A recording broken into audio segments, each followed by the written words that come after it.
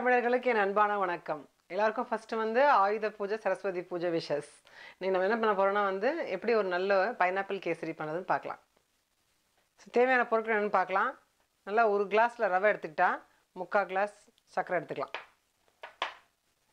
இந்த சின்ன பவுல் அளவுக்கு நான் ஊருக்கு நெய் எடுத்திருக்கேன். இன்றைக்கி முந்திரி திராட்சைக்கு பதிலாக நான் வந்து பிஸ்தா பருப்பு போட போகிறேன் இது உங்கள் விஷ் ஏதாவது ஒரு நட்ஸ் போடலாம் ஏதாவது ட்ரை ஃப்ரூட்ஸ் போடலாம். நார்மலாக ஒரு கப் ரவைக்கு வந்து நம்ம ரெண்டு கிளாஸ் தண்ணி தேவைப்படும்.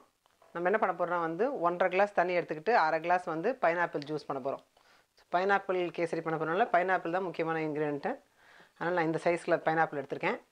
இதில் வந்து நல்லா திக்காக மிக்சியில் அரைச்சி ஒரு அரை கிளாஸ் ஜூஸ் திக் பல்ப் எடுத்துக்க போகிறேன் அது தவிர கொஞ்சம் பீசஸ் கட் பண்ணிவிட்டு அதையும் வேக வச்சு போட போகிறேன் நான். ஸோ ஃபஸ்ட்டு பைனாப்பிள் எடுத்து கொஞ்சம் குட்டி குட்டி பீசஸாக கட் பண்ணிக்கலாம் இந்த மாதிரி. கேசரில் சேர்க்க போகிறனால நான் வந்து தனியாக வேக வச்சுக்க போகிறேன் ஓரளவுக்கு வாயில் வர மாதிரி பீசஸ் இருந்தால் நல்லாயிருக்கும். அதனால் இந்த சைஸில் போட்டுக்கோங்க.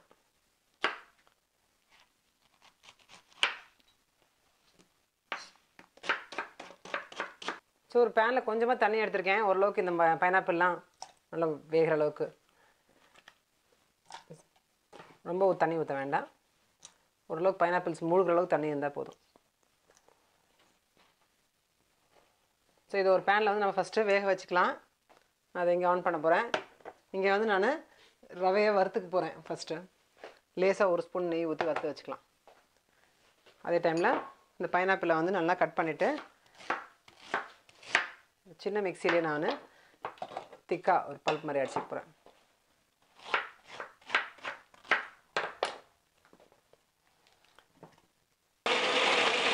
இப்போ அரைச்சாச்சு நம்ம அதை வந்து நான் ஒரு அரை கிளாஸ் எடுத்துக்கிறேன். ஸோ ஒன்றரை கிளாஸ் தண்ணி அரை கிளாஸ் பைனாப்பிள் பல்ப் எடுத்துக்கலாம் அதுக்கு. கரெக்டாக இருக்கும். ஸோ ரவை வறுக்கிறதுக்கு முன்னாடி நான் ஒரு ஸ்பூன் நெய் ஊற்றி இந்த பிஸ்தா பருப்பு லேசாக நான் வறுத்துக்க போகிறேன் நீங்கள் முந்திரி திராட்சை போடுறீங்கன்னா அதை வறுத்து வச்சுக்கோங்க. அதை எடுத்துகிட்டு அப்போ நம்ம அதே பேனில் வந்து ரவை வறுத்துக்கலாம். இங்கே வந்து நம்ம இன்னொரு பேன் வச்சுருக்கோம். நம்ம இங்கே தான் கேசரி பண்ண போகிறோம் அதனால் அந்த டைமில் வந்து நம்ம தண்ணி கொதிக்கட்டும். அதனால் ஒரு கிளாஸ் அது கூட ஒரு ஹாஃப் கிளாஸ் தண்ணி எடுத்துருக்கோம். ஒன்றரை கிளாஸ் தண்ணி கொதிக்கட்டும். ஸோ இது ஒரு ஒன் மினிட் வறுத்தாச்சு அதனால் பிஸ்தா எடுத்து வச்சுறேன். இதிலே வந்து நம்ம ரவையை போட்டு வறுக்கலாம். ரவை தீக்காமல் லேசாக ஒரு த்ரீ ஃபோர் மினிட்ஸ் இப்படி வறுத்திங்கன்னா நல்லாயிருக்கும். ஸோ இது வறுபடும் போதே நம்ம இன்னொரு ஸ்பூன் நெய் கூட ஊற்றிக்கலாம் இப்போது அதை போட்டு வறுக்கலாம். இங்கே வந்து நமக்கு தண்ணி கொதிக்குது. இந்த டைமில் வந்து என்ன பண்ணலான்னா வந்துட்டு நான் வந்து எல்லோ ஃபுட் கலரிங் யூஸ் பண்ணுறேன் இது வந்து ஆப்ஷனல் தான். நீங்கள் வேணும் யூஸ் பண்ணலாம் இல்லைன்னா விட்டுலாம் நம்ம. இது பைனாப்பிள் கேசரி இன்னும் கொஞ்சம் நல்லா எல்லோவாக இருக்கிறதுக்காக லேசாக கொஞ்சம் போட்டு போகிறேன் நம்ம வந்து ஏலக்காய் இதில் போட வேணாம். ஏன்னா வந்து பைனாப்பிள் தான் வந்து நல்லா கொஞ்சம் டாமினேட் பண்ணோம். அதனால் ஏலக்காய் நம்ம இதில் போடலை.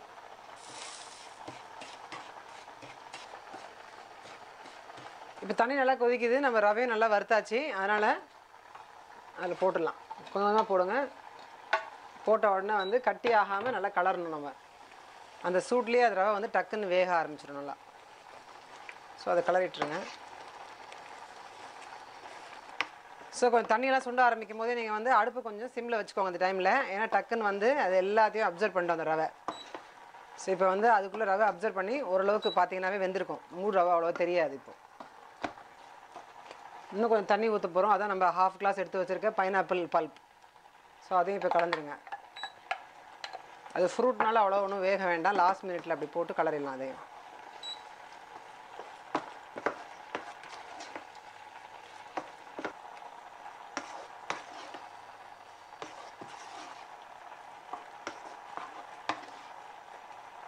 இப்போ வந்து நம்ம இன்னும் கொஞ்சம் நெய் இருக்குல்ல அதெல்லாம் நெய் ஊற்றலாம் இப்போது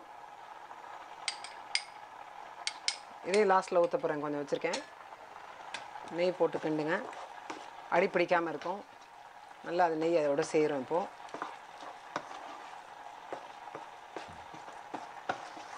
ஸோ இந்த டைமில் பார்த்தீங்கன்னா நம்ம வந்து பேரலாக நல்லா பைனாப்பிள் வந்து வேக வச்சு வச்சுருந்தோம் இங்கே. அதனால் அது நல்லா ஆல்மோஸ்ட் நல்லா வெந்து போச்சு ஃபுல்லாக அதனால் தண்ணியை நான் லேசாக வடிகட்டிட்டு பைனாப்பிள் மட்டும் போட போகிறேன் இப்போ. ஸோ பைனாப்பிள் மட்டும் நம்ம இதில் ஃபில்டர் பண்ணி போடலாம். இல்லை கொஞ்சமாக நீங்கள் தண்ணி ஊற்றி கூட வேக வச்சுக்கலாம். அதையும் இப்போ நம்ம கலரிட்டு கடைசியில் நம்ம வந்து ச சக்கரை போட போகிறோம் சக்கரை போடும்போது ரொம்ப இலக ஆரம்பிச்சிடும் அதனால் அடுப்பை வந்து ஓரளவுக்கு நல்லா சிம்மில் வச்சுட்டு அதுக்கப்புறமா நம்ம சர்க்கரை போடலாம். முக்கால் கிளாஸ் சக்கரை எடுத்து வச்சுருக்கோம். அது போட்டு கிளறுங்க. சூட்லேயே வந்து நல்லா அது கரைஞ்சிரும்.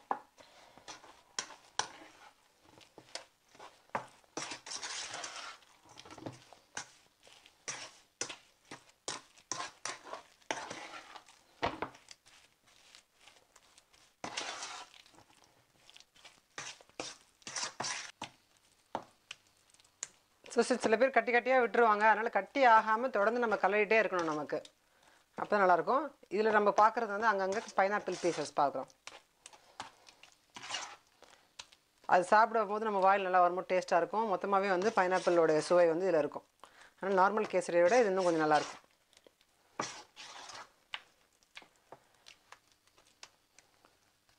செஞ்சு எடுத்து வச்சப்பறம் கூட கட்டி ஆகும் கேசரி. அதனால் வந்து நீங்கள் கொஞ்சம் தண்ணியாக விட்டாலும் கொஞ்சம் நேரத்தில் கட்டி ஆகிடும் லாஸ்ட்டில் நம்ம பஸ்தா பருப்பு எடுத்து வச்சுருக்கோம். அதையும் போட போகிறேன் இன்னும் கொஞ்சம் நெய் இருந்தது அதையும் போட போகிறேன் நெய் போட்டால் நல்லாயிருக்கும்.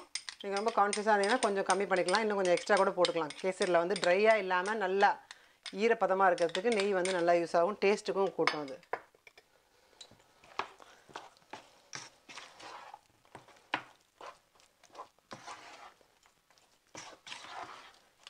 பழம்லாம் போட்டதுக்கப்புறமா ரொம்ப நேரம் க கலர வேண்டாம் நம்ம. ஸோ நம்மளோட பைனாப்பிள் கேசரி வந்து நல்லா ரெடி ஆகிடுச்சு பாருங்கள் இந்த மாதிரி நல்ல ஒரு கன்சிஸ்டன்சியில் இருக்கணும் கேசரி. இப்படி எடுத்து சர்வ் பண்ணுற மாதிரி. இந்த மாதிரி. இதை வந்து நான் இந்த பவுல் ட்ரான்ஸ்ஃபர் பண்ணிக்க போகிறேன் இப்போ.